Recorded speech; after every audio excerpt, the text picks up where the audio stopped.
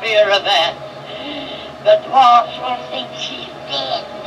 She'll be burned alive. Wait, wait.